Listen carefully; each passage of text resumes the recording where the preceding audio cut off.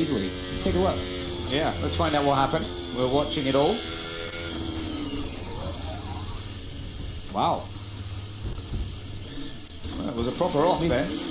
Yeah, it's a decent sized hit, but very fast part of the track. You know, he'd slowed down, I think, a little bit for a car in front, but it's not like you're hitting the brakes through that section. Very, very quick through the S's there.